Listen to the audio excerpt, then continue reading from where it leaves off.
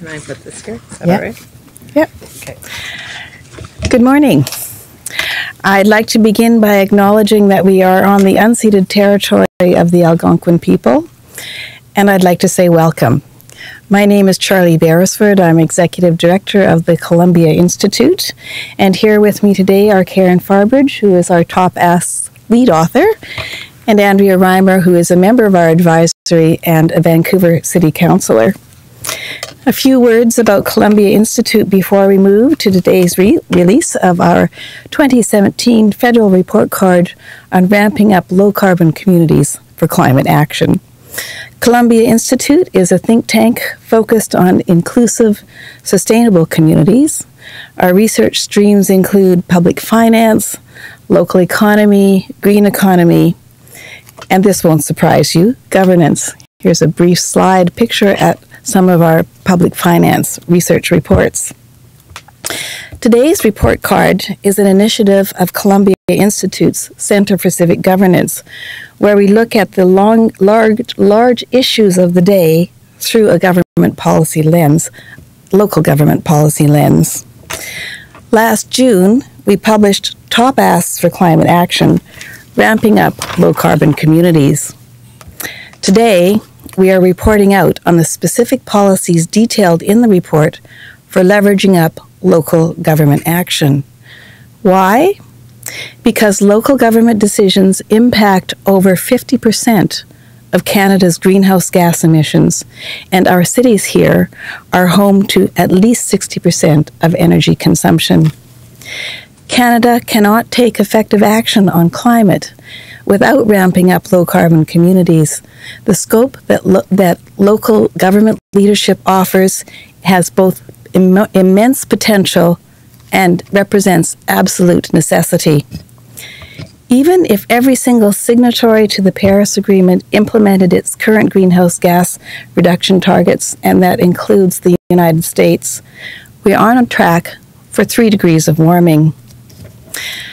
This week, Christina Figueres, a former chief of the UNFCCC, said, and I think this is a good quote this is no time to waver. She was tabling a report called Deadline 2020, which calls for the decarbonization of infrastructure by 2050. While the Paris Agreement commits us to well under 2 degrees, and this is a widely used number, it also commits signatories to work towards 1.5 degrees of warming. There is not a consensus that 2 degrees is in fact safe. We are already seeing impacts in Canada, floods literally here in Canada in our backyard yard here just uh, a few days ago. Forest fires and extreme storms have already cost billions of dollars. Globally, climate change has cost lives and human suffering. We are seeing climate refugees, destabilization, and political unrest in the face of drought and food shortages in places around the globe. The unfortunate truth is that Canada is behind. We need all the momentum that the federal government can bring forward. In fact, the International 2017 Climate Change Performance Index puts Canada at number 55 of 61 countries globally.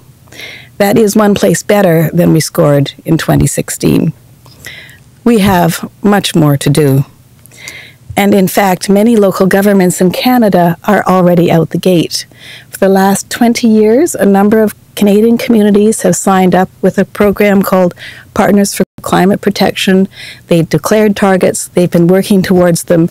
We have more than 300 of those communities in Canada. The question is how do we ramp this up?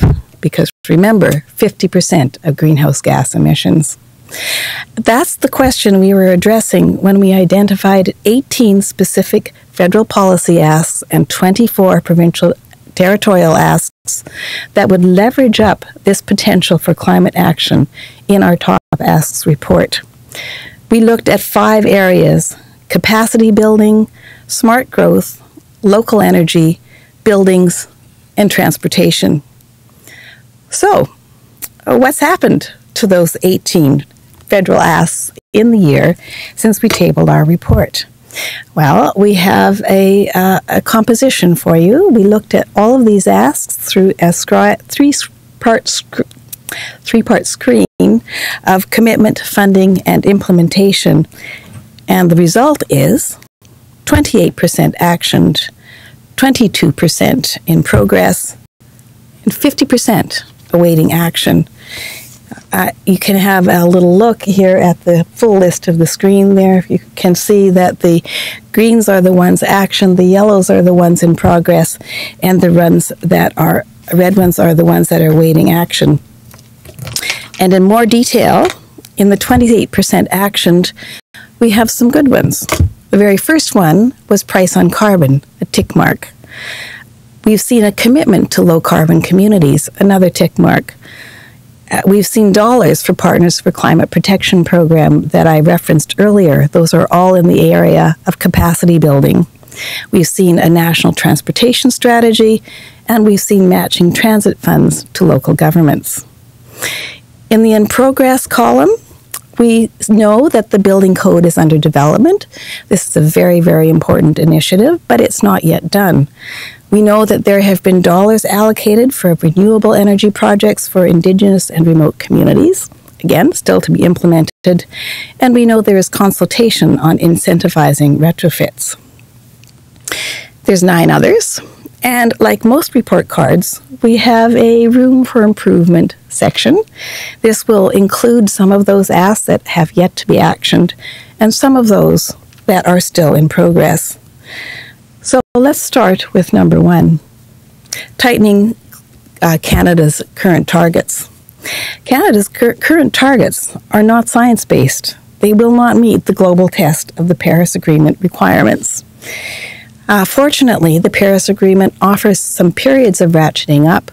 There will be a facilitative discussion starting globally in 2018 that will allow countries to have another look at their commitments and opportunity to ratchet up those commitments because remember, we're on track for three degrees of warming. The second ask tie infrastructure funding to our climate goals. Guarantee that infrastructure dollars won't lock Canadians onto a high carbon path because infrastructure lasts for a long time. We're already spending uh, a huge amount of money. Let's make that money count. The next ask provide communities with the data that they need. Many uh, local communities do not have the staff capacity, and it's hard to take action when you don't know the source of your emissions. Uh, in British Columbia, for example, every community has that profile. It's provided by, by the provincial government there. We would like to see that same availability across the country. We would also like to see a uh, baseline of natural capital. That is an emerging area. There is value in the natural capital we have in our communities as carbon sinks that needs to be calculated and protected. Our fourth room for improvement is energy democracy. This means enabling communities and Indigenous peoples to own their own clean energy generation sources. That has been the secret to Germany's rapid take-up on clean energy is uh, community and individually owned power development. To illustrate, an average community's uh, spend in Canada is 3,000 to 4,000 per capita each year on energy. In the city of London, Ontario, that amounted to $1.6 billion every year. Of that $1.6 billion, 12% stays in the community. 12%.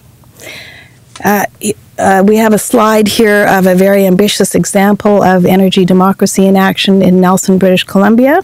They are in the midst of creating their very first community solar garden. Members of the community can purchase a panel in the community solar garden, and that is their energy, their energy source.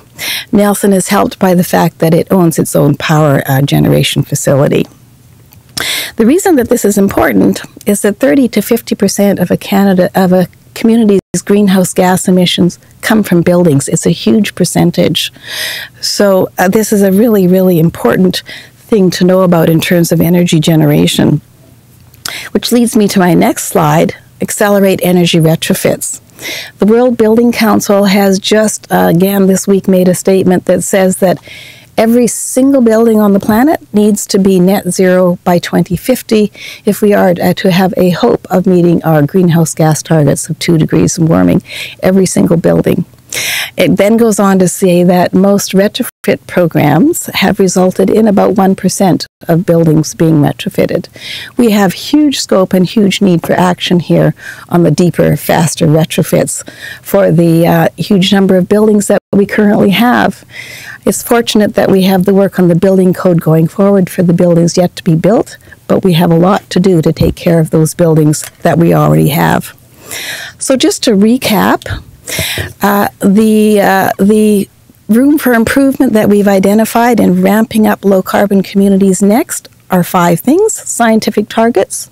We'd like to see those targets also adopted by communities, tying infrastructure dollars to climate action, giving communities the data they need to take action, promoting energy democracy, and ramping up retrofits more deeply, more quickly, and much more rapidly. And another look at the bottom line 28% action, 22% in progress, 50% awaiting action. And finally, to power up climate action, ramp up carbon, low carbon communities. So thank you. I'm going to just turn to Karen Farbridge here for a couple of moments about our methodology. Thank you. So, for each of the 18 recommendations, uh, we reviewed uh, prevent, uh, federal uh, websites, ministerial websites, press releases. Um, we also turned to some key documents like Budget 2017 and the Pan Canadian Framework on a Clean Economy and Climate. Um, and we also turned to many of the national organizations that do a lot of work in this space, whether it's policy development or research or programs. And what we were looking for was evidence of a commitment, uh, evidence of funding, and evidence of execution. And certainly we looked to execution as really informing where we saw great progress, where we saw some commitment and some direction.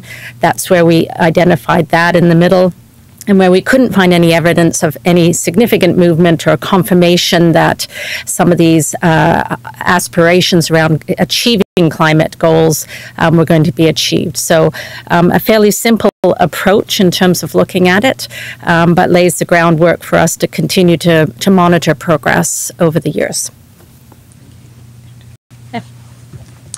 Uh, good morning. I wanted to start by acknowledging that we are on the traditional territory of the Algonquin people and offer my respects to the elders and elected leadership. My name is Andrea Reimer. I'm a city councillor from the city of Vancouver in British Columbia, where I've been the lead councillor on the Greenest City Action Plan, as well as on our efforts to be an 100% renewable city. Where I'm also a director on our regional district, Metro Vancouver, where I'm vice chair of the Climate Action Committee and recently was named as the vice chair of the National Green Municipal Municipal Fund. Uh, today, however, I am here as one of the advisors of the Top Ask for Climate report. So you've heard the methodology and the outcome of the report card. My hope today was to do a few things. Um, first off, to thank the federal government for the actions and commitments to action that they have made. After 10 years of inaction and at times hostility to action on climate from the previous government, it is a welcome change of direction and very encouraging to see the progress that has been made over this last year and a half, but much still remains to be done. And nowhere is that more evident than on the main streets of our cities and towns in Canada. As the ground level of government, local authorities have had no choice but to act. Environmental degradation is not a theoretical future for us, but a very real now. Canada's municipalities have to face the fires, they have to face the floods, the extreme heat, and the cold weather emergencies. And it's why that propels us to act and stop a changing climate, why cities are so much further ahead. And the lessons that we've learned in the years that we've been acting on climate, um, and by which we would judge the success of a national government are a few. The first is that there are no junior partners. We may have different capacities uh, as governments, but they are not more or less valuable. For us as municipalities, we often have to work with smaller municipalities First Nations or others who may uh, have less population uh, and may not have the money, but they do have a traditional knowledge, a social license, and embody a moral imperative that is priceless. And I would suggest to the federal government that municipalities are, uh, in relation to the federal government, very similar. It's also very important that roles, rights, and responsibilities are clearly defined. A good partnership is like a good relationship. It's hard to develop one with someone who is not self aware, and organizations, in my experience, work very similarly to that.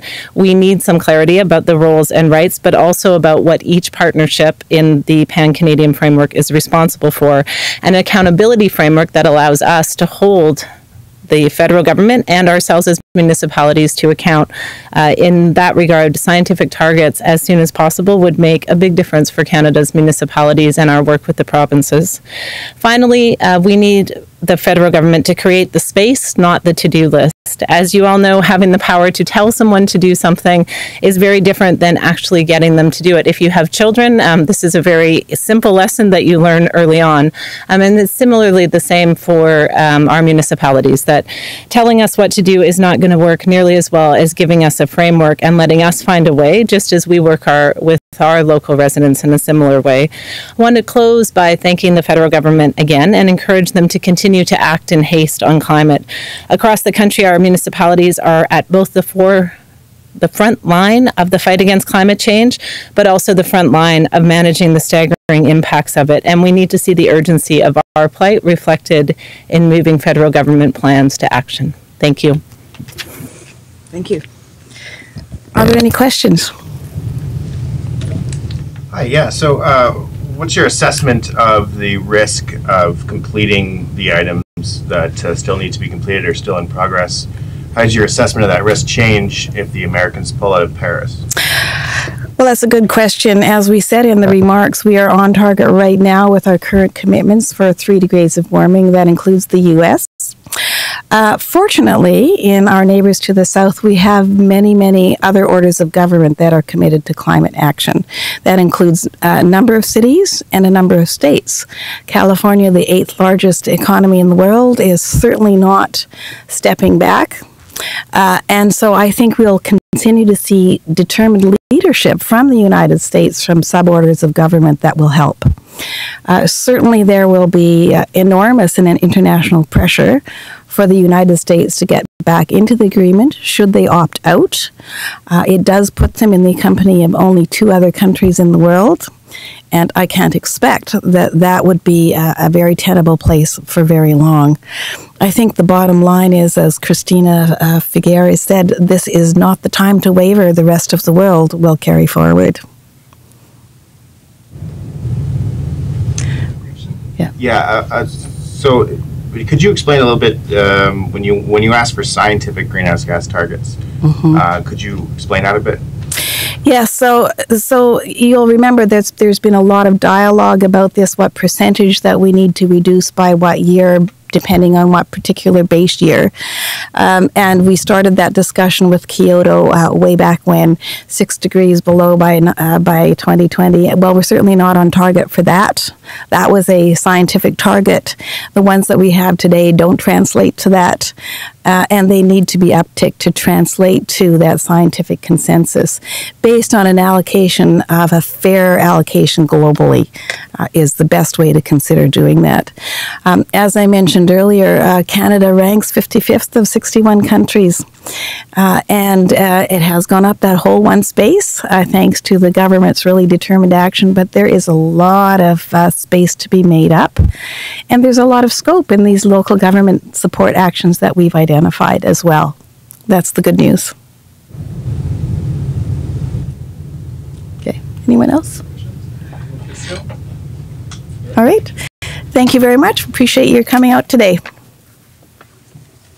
Thank you. No problem. Almost